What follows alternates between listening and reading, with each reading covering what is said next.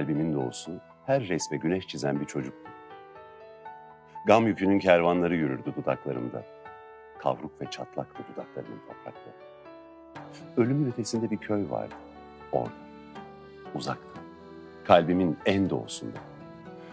Şimdi bana yalnızca dertli türkülere duyduğum karşılıksız aşk kaldı. Güzel beyaz bir tay doğururdu her sene hafızam.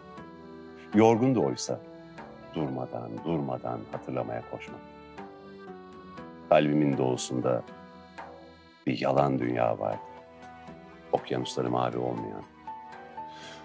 Benim için hayat kalbi kalpazanlıktan 40 sene yatmış çıkmış bir adam.